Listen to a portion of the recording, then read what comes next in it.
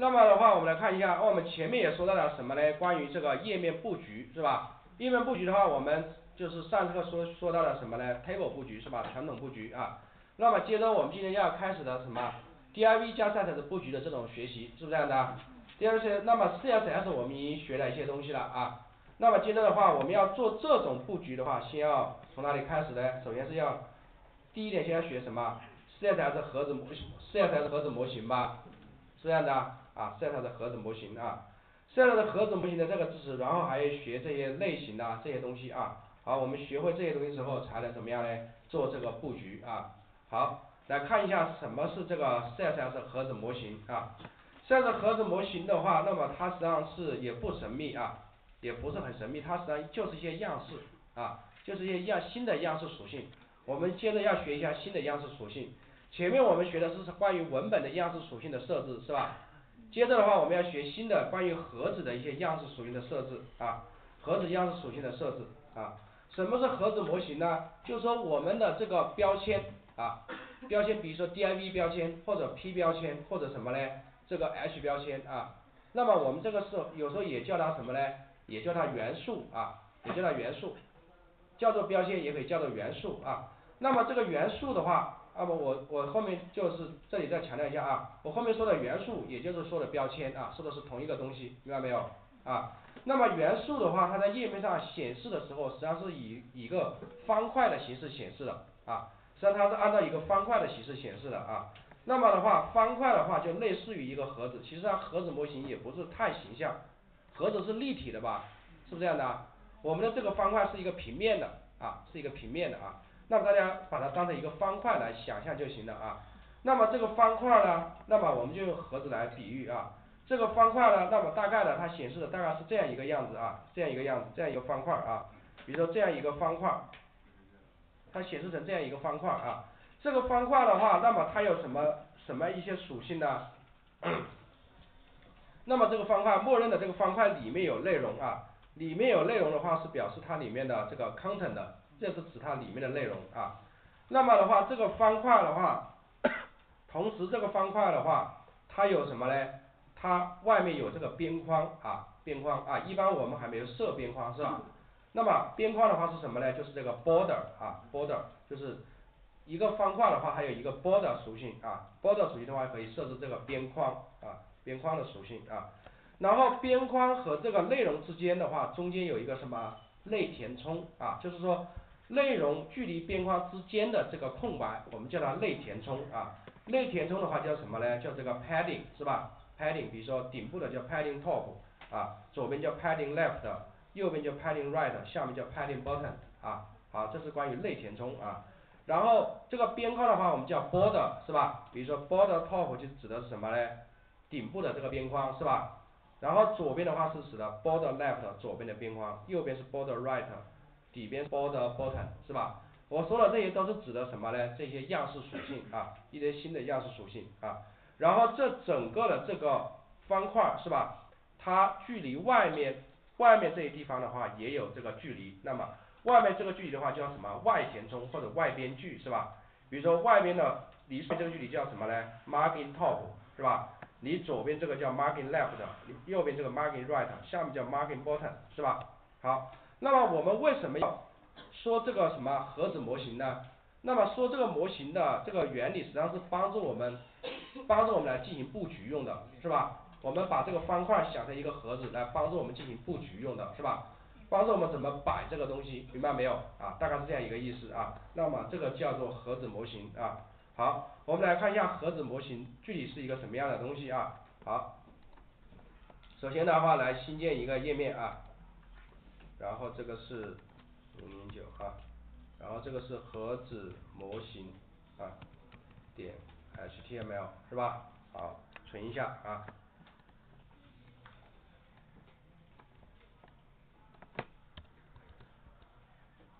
好，盒子模型啊，盒子模型啊，那么用盒子模型的话，我们用到的什么标签用的最多的实际上就是 D I V，那么我们用 D I V 来举例是吧？那么实际上用这个 H 标签也行是吧？比如说 H H 一标签它也是一个盒子啊，我们用到了什么嘞？比如说 P 标签也行啊，P 标签也可以啊，我们主主力什么例子用的最多的什么还是 D I V 是吧？啊我们用 D I V 来来来做这个盒子啊。比如说这个盒子这个 D I V 它的它的类名是 box，那么我们可以这么是吧？点 box 是不是这样的？然后按一个 tab 键是吧？那么就 class 等于 box 吧，是吧？好，那么好，那么开始的话我们来写这个 D I V 它的什么盒子模型的一些什么嘞属性是吧？样式属性，实际上就是一些样式属性，是不这样的？好，那么的话我既然是它的 box，它是一个类吧是吧？写它的类名是吧？点 box 吧，点 box 开始写它的这个盒子模型的一些属性啊。好，首先的话这个盒子怎么样？它有宽和高吧，是吧？有宽和高啊，比如说我给它的这个 box 它的宽是什么嘞？宽假如说给它一个什么嘞？给它一个两百，是不是这样的？两百 px 啊两百 px 好，然后的话这个 width 就是设置什么？这个盒子的宽明白没有？就设置这个标签它的宽度啊，它占有的宽度啊。然后的话再来设置一下 height 什么嘞？高度吧，高度就是指的这个标签它显示的显示成一个方块的时候占有的这个高度啊，高度假设我也给了个两百是吧？两百 px 啊好。那么这么设置完之后我们来看一下啊，设置完之后来看一下，来看一下它的效果是吧？看下效果啊，这个效果是看不到的，是不是这样的？因为它里面没任何东西吧，是不是这样的？好，那么为了很形象的看到这个方法，我们还需要学一个属性，什么属性呢？提前学一下，什么属性呢？就关于背景色的属性啊，背景色的属性，背景色属性是什么嘞？background 啊，background color 啊，这个是什么？设置背景色的啊，设置背景色的啊，假设这个背景色的话，我用一个 gold，这是什么？金色吧？好。这么设置完之后，我们来看一下这个 box 是吧？来看一下这个 D I V，那么它是一个什么效果啊？啊我刷新一下，那么它是不是这样一个方块啊？是不是画了一个方块出来了？这是不是类似于一个盒子啊？是吧？类似于一个盒子啊，只不过它是一个平面的是吧？好，平面的这样一个东西啊，好，好这样一个盒子的话，那么默认的这是它的宽和高啊，好，那么的话这个盒子的话，我们可以加点样式进去啊，或者加点内容进去啊，比如说这个是呃。盒子，盒子里面的文字啊，文字啊，就加了几个字吧，加一个字啊，好，或者是把这个字拷过去吧。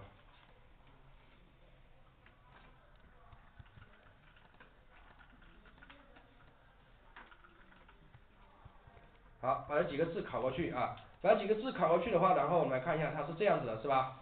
这样子的吧，这个 D I V 是不是这样的？啊放这几个字啊，好，那么我们来看一下，这个的话就是它的宽是两百啊，高也是两百这样的一个啊，好，接下来的话，那么盒子的基本的属性是什么？宽和高啊，接着我们来看一下它里面的其他的一些属性啊，其他一些属性的话，比如说首先的话设置最多的怎么样呢？就是盒子有什么？有边框吧？啊，接着我们来看一下边框是怎么设置的，实际上就是一些什么新的样式属性吧，啊新的样式属性啊。好，边框怎么设呢？边框用什么？border 来设是吧？好，那么 border 我们来先试一下这个盒子的顶部的边框的样式啊。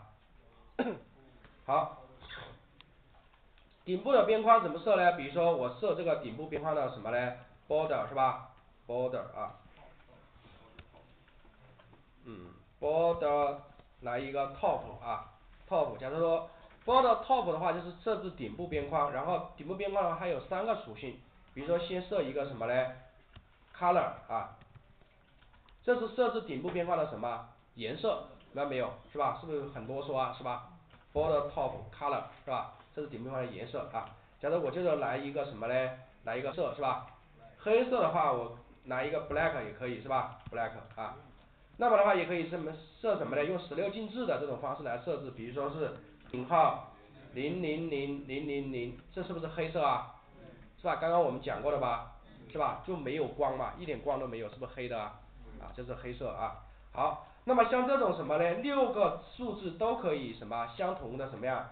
这种东西什么呀？可以简写啊，大家记得啊，可以简写啊。颜色的话，我们后面还会强调的啊，可以简写成三个啊，三个。好，这个是表示什么？黑色是吧？顶部边框的什么呢？这个颜色是黑色啊。好，那么接着再来看一下，在设置顶部边框的什么呢？border top 给它来一个什么呢？呃，来个外史啊，外史这个是设置什么嘞？顶部边框的什么？这个宽度是吧？宽度啊，宽度的话，假设我来一个十 px，十像素是吧？十像素啊，十像素这是宽度啊。好，再来看一下，再来设置一个 border top 是吧？再来一个什么嘞？这个丝带啊，这个是设置什么嘞？顶部边框的这个什么？它这个线的样式。啊，设置可以设置什么？虚线或者实线或者什么点线，明白没有？啊，那么常用的这个线的话，这个类型的话，实际上就三种啊。那么还有很多的其他的很花哨的线啊，我们不用去学了啊。实际上常用的就这么三种啊，常用的，比如说这里面可以什么嘞？比如说是实线啊，实线的话就是什么嘞？实线啊，实线的话就是 solid 是吧？solid 啊，这是实线啊。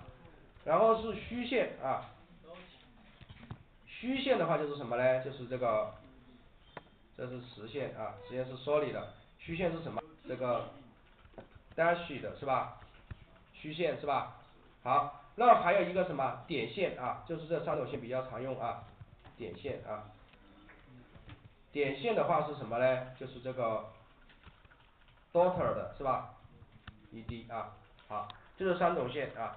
好，那么这个时候的话，假如说我想设置这个实线的话，我就设置什么嘞？solid 是不是可以啊？啊，solid 啊，好，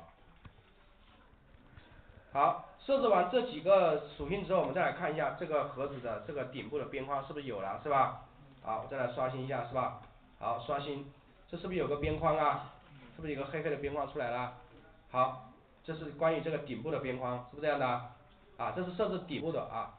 顶部的就这么设啊，好，那么再来看一下，我设置这个顶部的边框写了这么啰嗦的三句，是不是这样的？太麻烦了吧？那么如果我其他边我再设的话，怎么样？四个边是不是得什么呢？十二句啊，是不是这样的？啊，这个太啰嗦了是吧？啊，太啰嗦，实际上怎么样？我们这三句可以怎么样？合成一句啊，合成一句。那么你合成一，你为什么要写这三句呢？那么是告诉大家这个有这种写法啊。那么如果说我们有时候有个别的写的时候需要这么写啊，好，这三句合成一句怎么合呢？这么合啊，直接写 border top 啊，border top，明白没有啊？好，后面写三个属性，这三个属性分别是这个颜色，然后粗细，然后是线型，是吧？好，这个的话，它的这三个属性是可以打乱写的，随便写都可以啊，这个是顺序是无所谓的啊。那么大家的话就就是什么嘞？就是按照你的风格统一一个顺序就行了，是吧？好，比如说是这个是啊十像素是吧？这是粗细吧？然后是实线，solid 是不是这样的？然后是再是井号零零零，这个是黑色吧？啊黑色啊，好这一句的话就是什么？同时设置这三个属性吧。好，那么的话我们可以怎么样？把这把这三句把它注掉吧，是吧？注掉就行了啊。好，注掉之后我们来看一下啊。那么的话，这一句就相当于什么呢？这三句吧，啊，这一句是这三句啊。好，我来刷新一下，是吧？那么是一样的吧？啊，一样的啊，一样的，看到没有？啊，效果是一样的。好，那么这个时候我们什么？很辛苦的把顶部的边框做出来了吧？是吧？那么如果说我想做什么呢？左边的边框怎么写啊？左边的边框，那么就写 border left 吧。啊，直接这么写就行了，是吧？那么它也有 border left 的什么 color，border left 的什么 white 是吧？我就不用再写了，是吧？border left 的话，我同样的写什么呢？比如说十个像素，是吧？然后是给它来一个虚线，是不是可以啊？dashed，是吧？然后也给它来一个黑色，是不是这样的？好，好，那么这么写完之后，我们再来看一下啊，来刷新一下，这个是不是右边是不是有这个虚线的？啊，把它放大一下啊。是不是有这个虚线呢？是吧，虚线啊。好，这是右边的边框啊。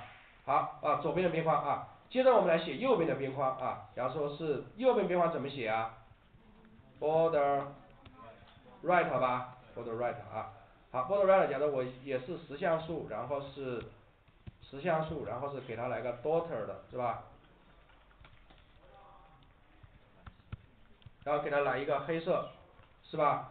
好，再来看一下这个效果啊，看一下这个效果啊。好，那么这个时候它是怎么样呢？刷新一下，那么它是不是点点点的？点点点啊，好，这是它的这个效果啊。好，接着我们再来看一下，那么底部边框怎么写呢？底部边框啊，好，border 什么？bottom 吧，border bottom 啊，然后是实像素啊，然后给它来一个实线吧，是吧？然后这是井号零零零啊。好，这个时候是什么？底部边框，是这样的。好，底部边框呢，我们来刷新一下，那么这个就是底部边框了吧？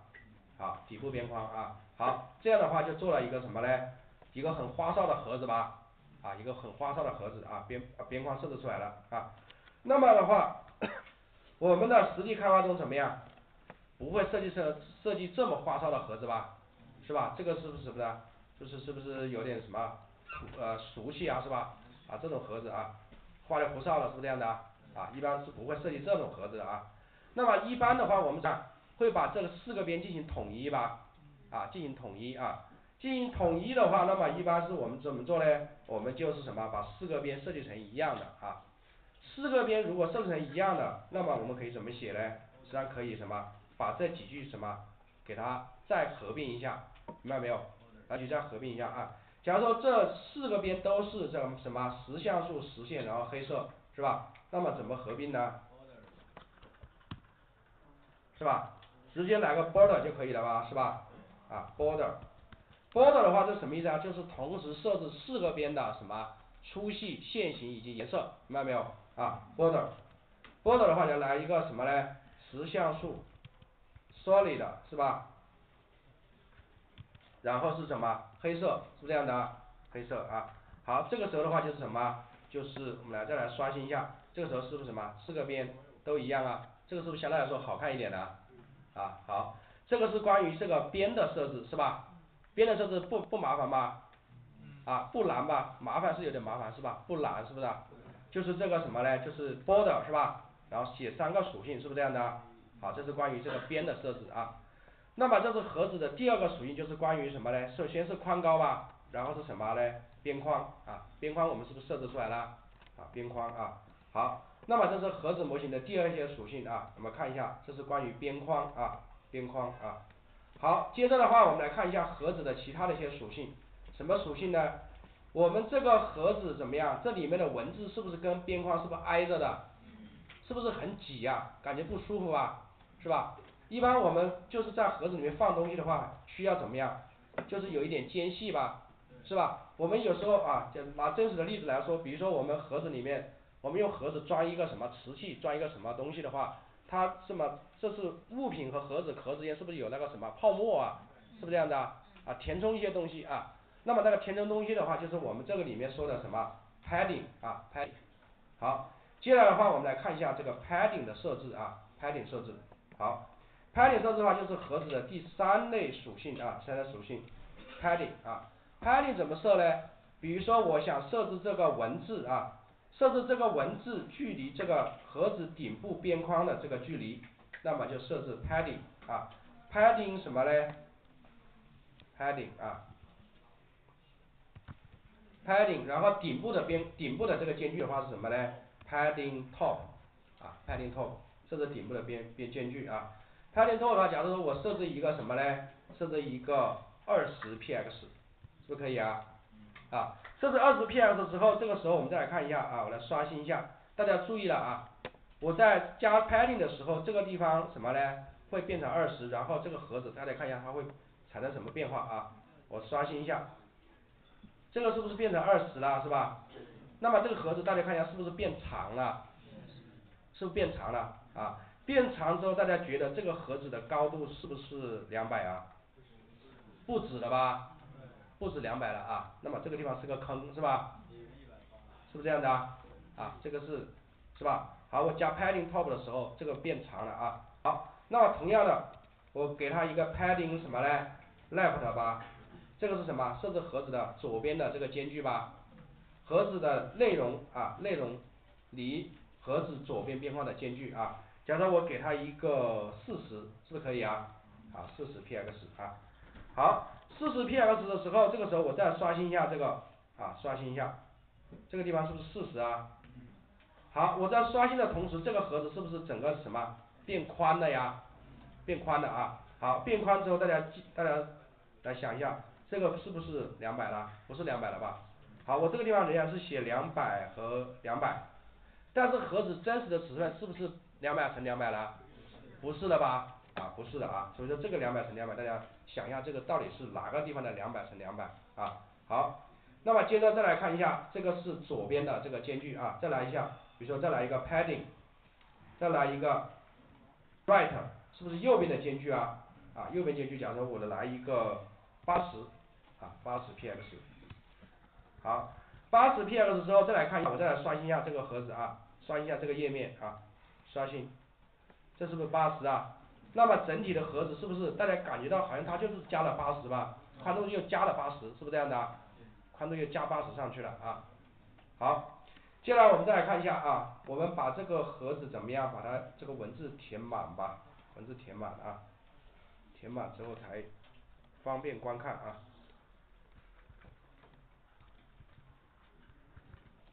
好，刷新一下，那么文字在这里啊，把这个样式把它。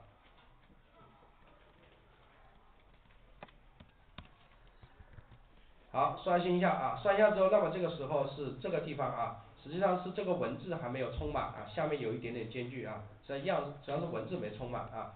好，接着的话我们来看一下设置底部的这个间距怎么设呢？那么就是 padding 什么？padding bottom 吧，啊 padding bottom，假如我给它一个一百吧，一百 px 啊。好，一百 px 的我们来看一下啊，再来刷新一下是吧？刷新，这个是吧？是不是一百呀？啊一百啊。这个盒子已经面目全非了吧？完全不是我们刚刚做的那个盒子，是不是这样的？啊，那么它下面相当于又加了一百，是吧？那么这个的话就是设置这个盒子的什么四周的这个 padding 值，是吧？好，那么我们这个时候设置这个 padding 值的话，实际上怎么样？也什么样呢？也是有一点什么没有统一吧，是吧？四周都不一样，是吧？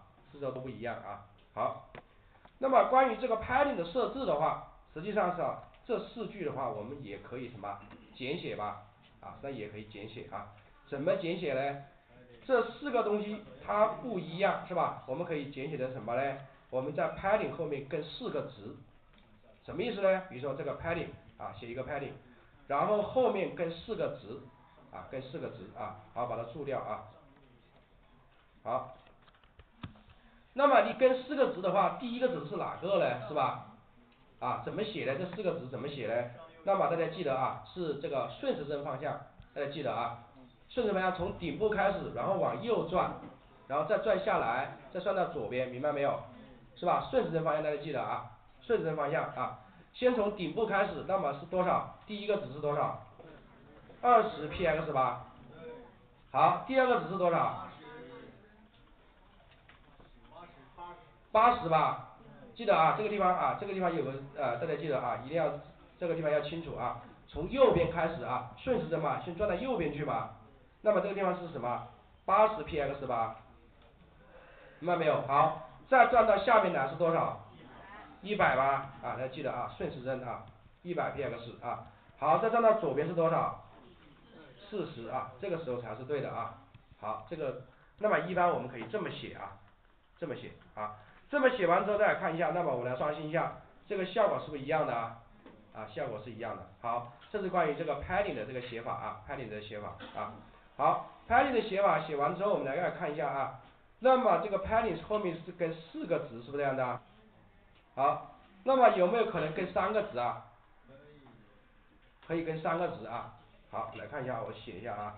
那么这个地方是。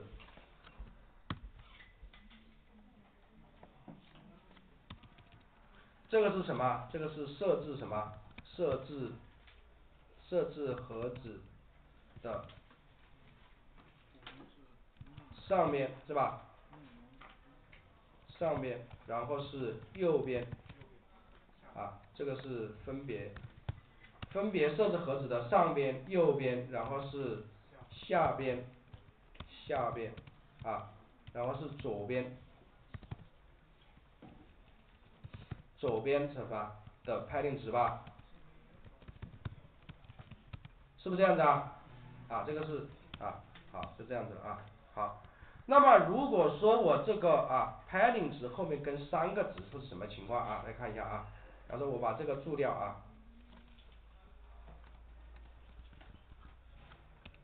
好，这个我把它拿下来啊，拿下来之后，如果说我把它怎么样呢？给它来一个，这个我把那个值去掉，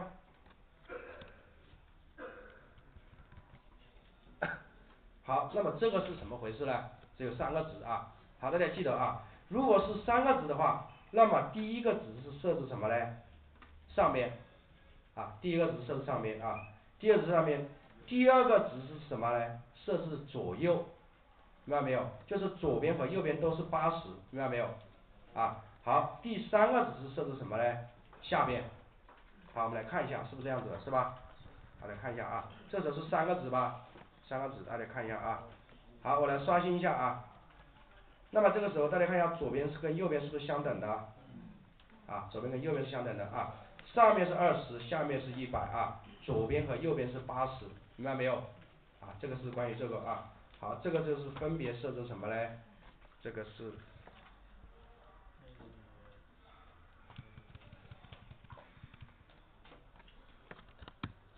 好，这个是就是分别设置什么嘞？这个上边啊，左右。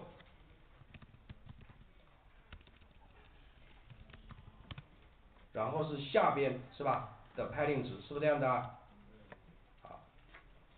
好，这是关于什么嘞？三个值啊，三个值的情况啊。好，这个确实有一点什么？这是这是有一点什么？故弄玄虚吧，是吧？啊，好像有点卖弄技术哈，是不是这样子啊？啊，好，那么接着再卖弄吧啊。好，怎么卖弄呢？看一下啊。那么这个时候怎么样？这个后面还可以什么？跟两个值啊，跟两个值啊。好，跟两个值的时候是什么情况呢？大家看一下啊。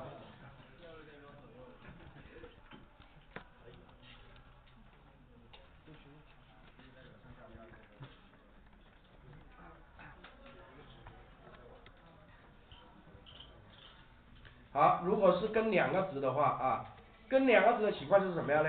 就是什么？第一个是什么？代表上下啊，第二个代表什么？左右，明白没有？啊，第一个上下，第二个左右啊，好，再来看一下两个值的时候，再来刷新一下，是吧？那么这是左右是八十吧，上下是二十吧，是吧？那么大家觉得这个下面是不是高一点？是因为这个文字没没没有填完，明白没有？啊，上下是二十，左右是八十啊，还记得啊？好，这是关于这个盒子啊，好，好，那么的话，好，这是什么？两个值吧？两个值的话就是分别设置什么嘞？设置这个。上下和左右啊，好，分别设置上下和左右。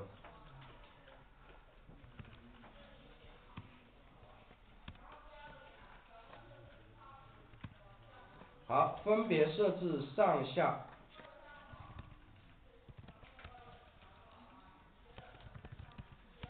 上下左右的什么 padding 值吧，padding 值啊。好，最后我们来看一下，如果是一个的是吧？一个的。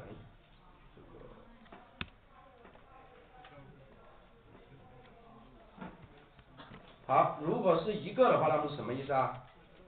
就是什么？设置四个边的吧，啊，padding 啊，padding。如果是一个的话，假设说是什么呢？二十 px 是不是这样的？啊如果是一个啊，这个地方是有问题啊。嗯？好，padding 啊，好，这写一个 d 啊。如果是一个值的话，很简单，就是设置四个边的，明白没有？啊，设置四个边的 padding 值啊。好，我来刷新一下，那么四个边什么？都是二十吧？好，那么这样是不是才好看呢？是吧？四个边统一吧才好看，是不是这样的？好，这是关于这个 padding 的设置啊，padding 设置。好，那么的话就是同时设置四个边的啊，同时设置，同时设置四个边的 padding 值啊。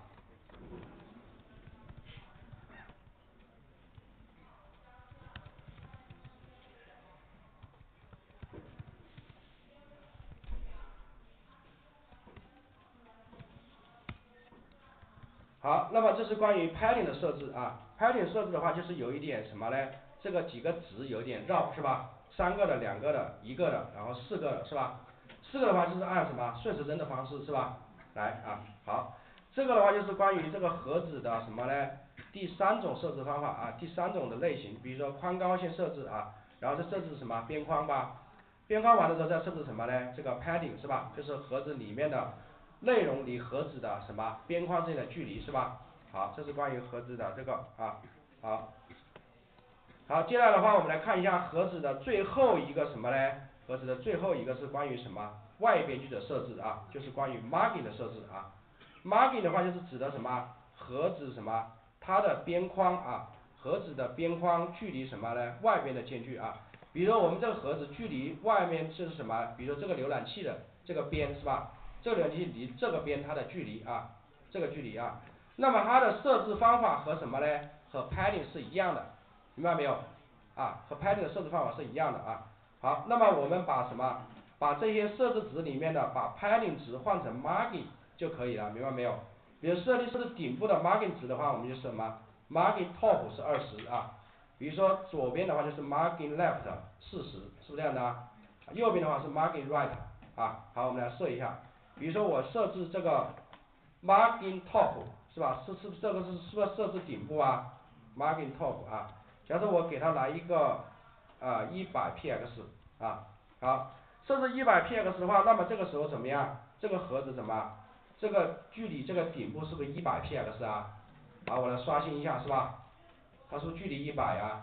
啊，距离一百啊，这是一百。好，那么的话，好，我再设置一下左边的间距啊，左边这个间距的话是比如说 margin left 是吧？那么这个是什么？左边的吧？左边假设我也设置个一百 px 啊，一百 px 啊，那么的话这个时候我来刷新一下，这个时候是不是左边是不是一百呀？啊，是这样子的啊，好，那么大家记得这个位置怎么样？它是设置什么？这个外边的间距，明白没有？外边的间距啊，好，外边的间距，好，这是就是盒子距离外的这个间距啊，好，那么这个 margin 的设置方法和什么呢？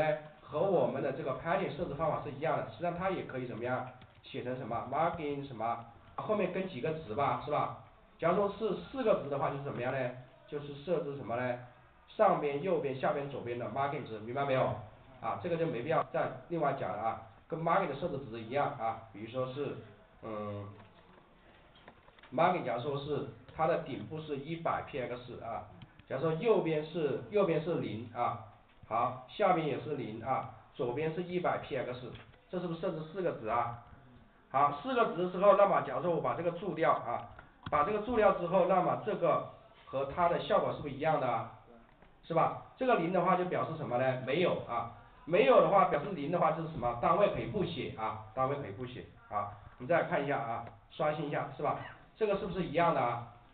一样的啊。好，这是关于这个盒子的 margin 的设置值啊，margin 的设置啊。那么这个的话就是大概是关于这个盒子什么样呢？它的什么这个啊盒子模型的一些啊整体的一些设置值啊，主要包括几块呢？包括什么？这个。盒子的宽高是吧？盒子的宽高，然后盒子的什么 padding，盒子的什么 border 是吧？边框，然后是什么 padding 值，然后是接着是什么呢？margin 值吧，啊是这样的设置啊。好，这是关于盒子的一个盒子模型的一些基本的属性的设置啊。好，接下来的话大家来看一下这个例子啊，大家看一下，把这个例子做一下好吧？那么刚刚我们学的这个盒子模型，然后把这个例子做出来啊，看一下大家能不能。按照这个尺寸做出来，好吧？好，那么的话，呃，好，这个尺寸的话怎么看呢？啊，尺寸怎么看啊？好，那么这里还有一点啊，我点右键，大家看一下啊，检查啊，点右键检查之后，然后大家把这个标签放到这个 div 上面，然后大家看一下这个地方是不是有一个盒子模型的一个这样一个什么显示的这个这个盒子模型的这个这个东西啊，是吧？那么大家这个这个地方就可以看到，比如说这个地方是两百乘两百吧，看见没有？然后这个地方是二十吧，排顶二十，看见没有？然后 border 是什么？这个是九点六啊，这个的话是什么？crop 升级之后出问题了啊。那么我这个地方应该是没有按百分之百显示吧？啊。好，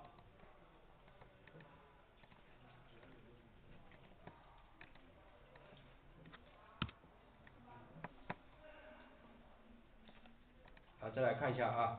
好，那么可能有的人这个地方是小数啊，比如说不是完整的这个什么呢，呃，十像素啊，有小数，那么这是是 Chrome 浏览器的问题啊，不是你的问题啊。好，这里是不是有一百呀？是吧？一百，那么这是 Margin 啊。好，那么大家通过这个可以看你这个尺寸啊。好。